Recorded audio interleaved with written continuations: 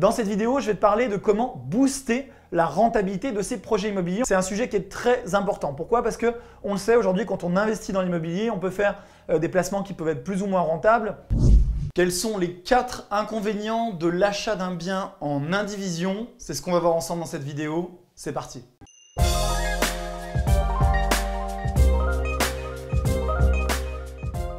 Salut à toi très cher entrepreneur de l'immobilier, j'espère que tu vas bien. Je m'appelle Manuel Ravier, je suis investisseur immobilier avec plus de 60 lots actuellement en détention, dont certains en indivision, certains en détention euh, propre, certains euh, que je tiens à travers des sociétés civiles immobilières.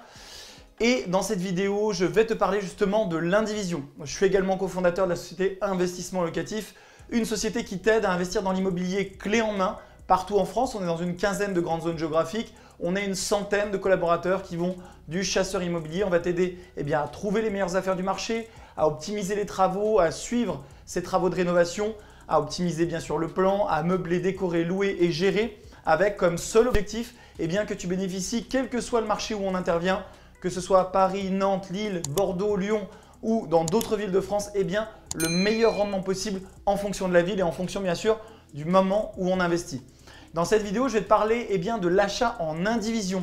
Qu'est-ce que l'achat en indivision? Qu'est-ce que ça implique? Quelles sont eh les contraintes? On va voir les quatre inconvénients principaux quand on achète un bien en indivision. Donc ça veut dire qu'on achète un bien en direct à plusieurs indivisaires. On va voir ça tout de suite, j'espère que tu es prêt, c'est parti. Alors c'est la situation dans laquelle se trouvent au moins deux personnes lorsqu'elles achètent un ou plusieurs biens en commun. C'est ce qu'on appelle donc des indivisaires, elles possèdent donc ce bien à plusieurs. On peut être dans cette situation-là lors de l'achat d'un bien en commun ou alors dans le cadre d'une succession ou même d'un divorce. Si on avait acheté eh pendant euh, le mariage, on se retrouve en indivision sur ce bien-là. Et ça peut avoir des implications qui sont assez lourdes. C'est ce qu'on va voir dans cette vidéo. Donc reste bien jusqu'au bout. Si tu as le projet ou si tu as acheté un bien à plusieurs, ça peut eh bien, être très pertinent de savoir ce que ça implique. Alors l'inconvénient numéro 1, c'est que l'indivision peut être source de conflits. Alors bien sûr, quand on achète un bien à plusieurs, à deux ou euh, à plus que deux d'ailleurs, et que tout se passe bien entre les différents indivisaires, eh bien il n'y a aucun sujet. C'est euh, le mode d'achat le plus simple à plusieurs, puisqu'on n'a pas à créer une société, on n'a finalement rien à faire. Il suffit que sur l'acte de vente, on mette euh, les noms des différents indivisaires. Et c'est aussi simple que ça, on devient propriétaire du bien. La vraie question, c'est ce que ça va impliquer juste après. La première question, c'est quels sont les codes-parts de chaque indivisaire? Il faut savoir que chaque indivisaire devient propriétaire en fonction de l'argent qu'il a investi dans l'achat. C'est-à-dire que les parts vont être en, fonction de la réalité de ce qu'il a apporté dans le projet. On l'a donc vu, il y a très peu de formalités, en tout cas au départ. Mais le, sujet en fait sur l'indivision, c'est que ça peut être une source de conflit. L'idée c'est quoi? C'est que dans l'indivision, chaque membre ne peut rien faire sans l'accord des autres. Heureusement, il y a un principe en droit, c'est que nul n'est censé rester dans l'indivision. Alors ça veut dire quoi? Ça veut dire que les membres indivisaires peuvent sortir de l'indivision deux solutions bien entendu, soit une sortie amiable, c'est-à-dire que concrètement, eh soit on revend le bien et on se met d'accord au sein de l'indivision, soit un des indivisaires va racheter les parts, c'est ce qui arrive souvent, eh bien, d'un autre indivisaire pour lui permettre de sortir de cette indivision, soit il n'y a pas d'accord et dans ce cas-là, on passe sur une procédure judiciaire.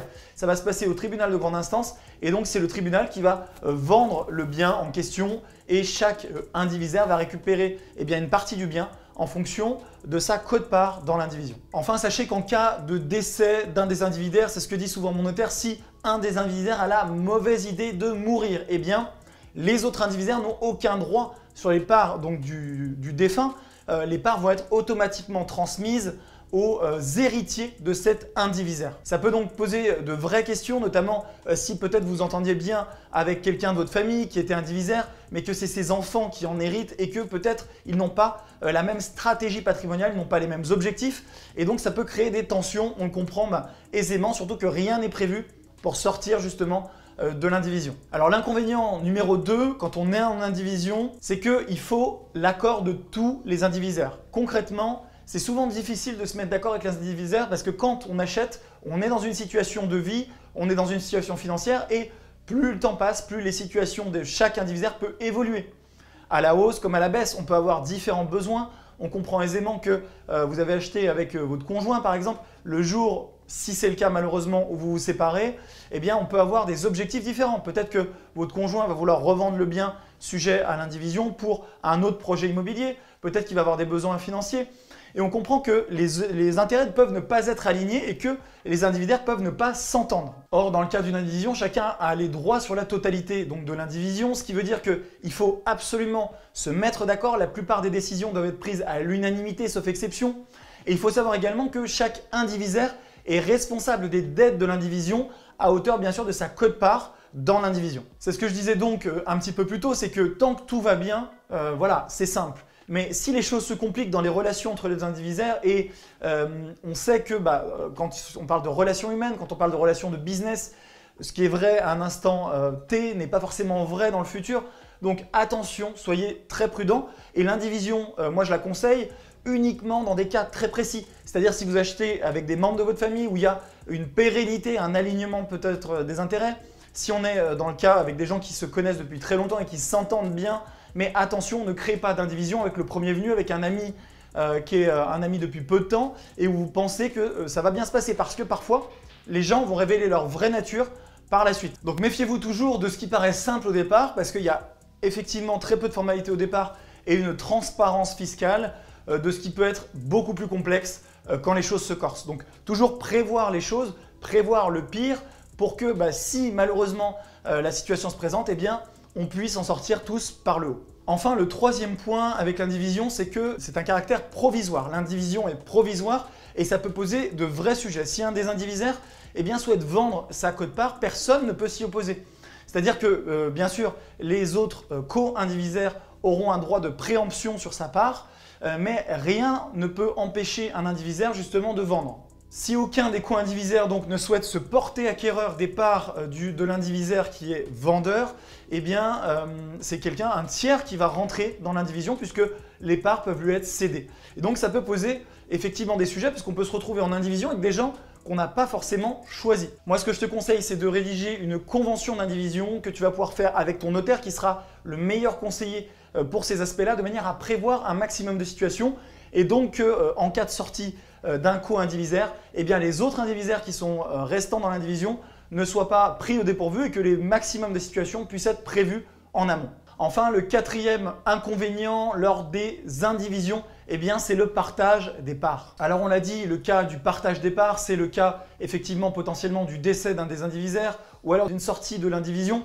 qui complique euh, considérablement les choses. On a deux types de décisions. On a les décisions les plus importantes qui doivent être prises à l'unanimité de l'indivision et les décisions qui sont peut-être moins importantes qui doivent être prises aux deux tiers de l'indivision. On comprend euh, aisément que c'est assez compliqué puisque c'est des conditions qui peuvent être euh, très restrictives, donc il faut que tout le monde soit d'accord. Encore une fois, euh, moi, ce que je voulais te dire dans cette vidéo-là, c'est attention parce que bah, là, tu vas te dire aujourd'hui, je m'entends bien avec ma conjointe, je m'entends bien avec mon ami, je m'entends bien potentiellement avec un, un, enfant, un jeune enfant de ma famille qui a, je ne sais pas, 20 ans, 25 ans, mais les choses peuvent évoluer. On le voit malheureusement dans les drames familiaux. Euh, quand on parle de séparation, ou même si par exemple vous avez un enfant qui aujourd'hui est euh, tout juste majeur, n'a peut-être pas encore fait sa vie avec un conjoint, si demain il est en couple avec un conjoint, euh, le, sujet de la transmission du patrimoine est un vrai sujet parce que, en fait, dans beaucoup de familles, on se retrouve à avoir un conjoint avec qui on ne s'entend pas nécessairement, donc c'est pas grave puisque c'est pas à nous de vivre avec, hein, c'est notre enfant qui l'a choisi.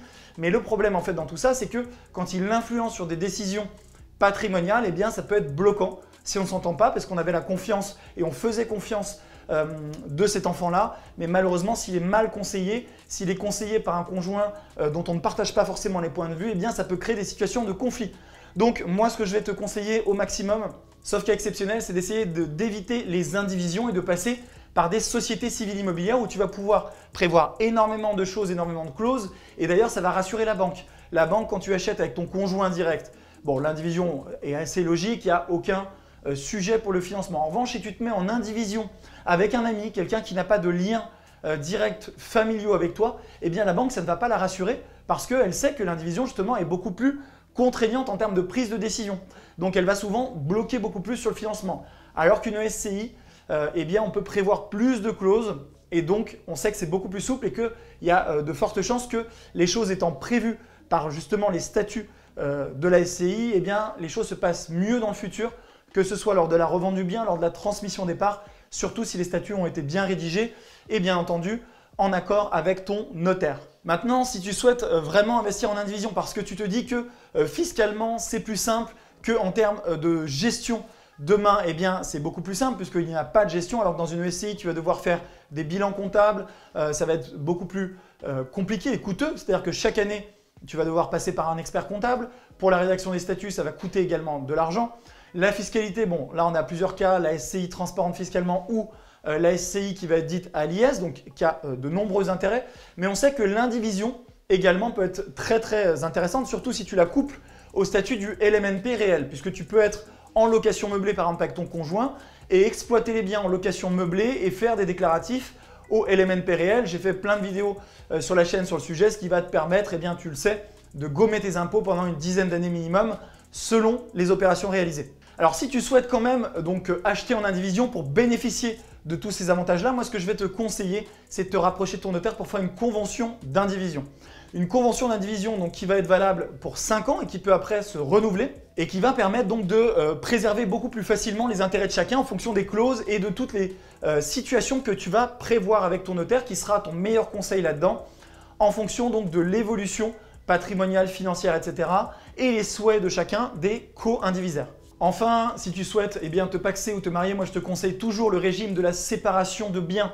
Aujourd'hui, c'est beaucoup plus moderne. Ça ne veut pas dire qu'on euh, euh, qu'on se soucie pas de son conjoint. Ça ne veut pas dire que demain, on ne va pas acheter des biens en commun, mais ça veut dire qu'on va choisir ce qu'on va acheter en commun et qu'on va pouvoir faire eh bien, des arbitrages. On sait ce qu'on fait, alors que dans le régime de la communauté générale, eh bien parfois, ça peut euh, laisser un goût amer dans la bouche en cas de séparation, ce qui bien sûr, quand on se marie ou quand on se met en couple, quand on se paxe, n'est jamais l'objectif. Hein. Mais il faut savoir quand même que, soyons réalistes, Beaucoup de mariages, malheureusement encore une fois, et, beaucoup de Pax eh bien, terminent par des séparations aujourd'hui. Si tu dois retenir quelque chose dans cette vidéo, c'est que tu peux investir en indivision ou euh, à travers des SCI. L'indivision est donc beaucoup plus simple à mettre en place puisque c'est euh, une indivision de fait. Tu achètes simplement un bien à plusieurs avec euh, plusieurs noms sur l'acte de vente. En revanche, l'indivision peut être beaucoup plus compliquée en cas de situation future de revente et si notamment les co-indivisaires ne s'entendent pas ou en cas de décès. A l'inverse, la SCI est intéressante. Elle peut être beaucoup euh, plus simple à gérer euh, pour des situations justement de séparation, etc., qui peuvent être prévues dans les statuts. En revanche, on a des coûts lors de la création, on a des frais de gestion euh, chaque année, notamment avec l'expert comptable, et c'est quand même beaucoup plus lourd de manière administrative. Donc tu dois faire, comme d'habitude, un choix.